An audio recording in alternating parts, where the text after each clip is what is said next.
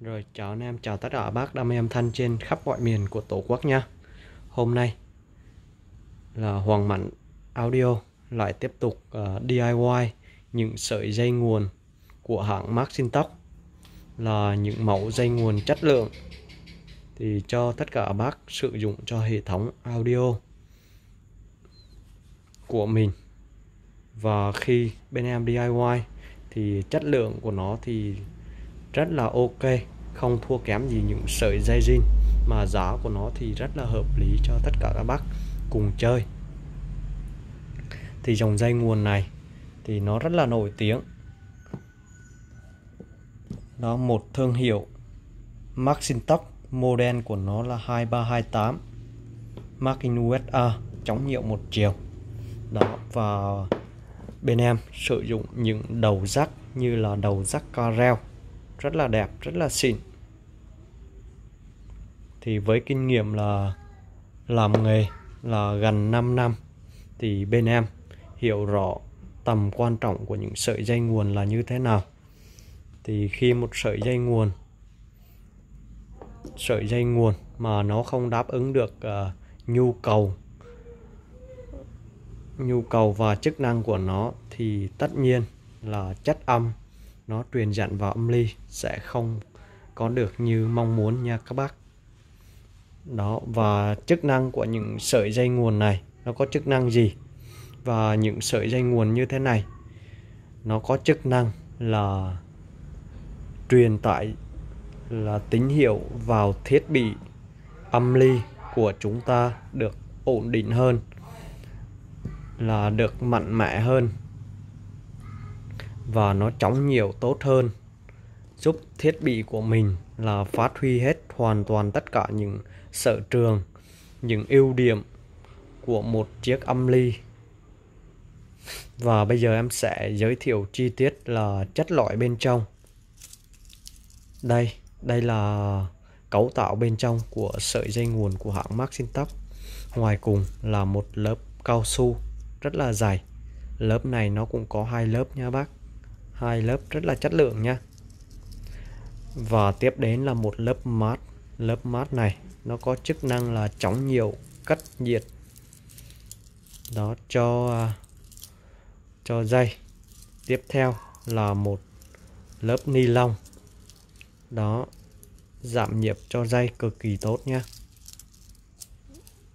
Và tiếp đến là ba loại. Loại này là loại mát nha. Loại mát và bên trong là những sợi dây đồng. Những sợi dây đồng là sợi dây đồng trục. Đó cho tín hiệu âm thanh của nó truyền rất là mạnh mẽ nha và bên trong của nó cũng có những sợi đồng mạ bạc ở bên trong. Sợi đồng mạ bạc ở bên trong. Thì uh, các bác cũng biết tác dụng của những sợi đồng và đồng mạ bạc. Thì như thế nào rồi? Sợi đồng là nó lại lợi về bên giải bát thì cho bát lên rất là hay rất là ấm. Và những sợi đồng mạ bạc đan xen như thế này thì giải chép của nó cũng sẽ hay hơn rất là nhiều. Tiếng của nó rất là sáng rất là chi tiết và rất là sạch nhé đó dây thì à, nó có chiều mũi tên chống nhiễu một chiều cực kỳ tốt luôn. Thì uh, tất cả các bác là đam mê âm thanh. Cũng giống như em, một người à, đam mê, cũng muốn thiết bị của mình là được à, phát huy được hết tất cả những à, tố chất của nó. Thì ngoài những sợi dây loa, dây AV thì chúng ta cũng nên đầu tư một sợi dây nguồn để thiết bị của chúng ta được hoạt động tốt nhất đó, chất âm của nó sẽ hay nhất nha. Và tùy theo những loại đầu rắc như thế này, thì bên em sẽ bán giá của nó sẽ khác nhau. Giống như loại đầu này, thì giá của nó sẽ rẻ hơn. Và những cái đầu Akufay của Nhật như thế này, thì giá của nó sẽ mắc hơn xíu. Đó, và những đầu Karel như thế này, rất là chất lượng. Những cái đầu xịn như thế này, đó, được bên em tuyển chọn rất là kỹ đó nhé à, và em lưu ý là những cái đầu aquafay này thì bên em đã hết hàng rồi nhé còn được ba bộ thì có một bác ở vùng Tàu là đặt hết rồi. Còn những loại đầu carel như thế này thôi. Đầu carel đầu này nó mắc hơn đầu Acufay xíu nha. Đó đầu carel loại này và loại này nhé đó và loại này thì nó rẻ hơn.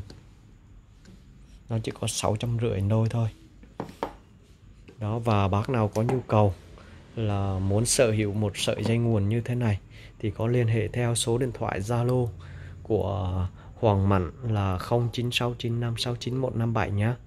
Rồi à, bên em có thể à, phục vụ được à, các bác. Còn về những phần bảo hành, nếu có trục trặc, lỗi gì thì các bác cũng có thể liên hệ cho em. Thì bên em luôn luôn là chú trọng đến chất lượng và luôn luôn là để khách hàng ở những thế thắng, nhá. Đó, nên các bác chơi cứ yên tâm. Em không bao giờ là để khách hàng của em là để thiệt hết. Đó, và các bác xem cân thì cho em xin một lượt đăng ký nha. Rồi chào bác, hẹn các bác ở các video tiếp theo. Rồi chào bác.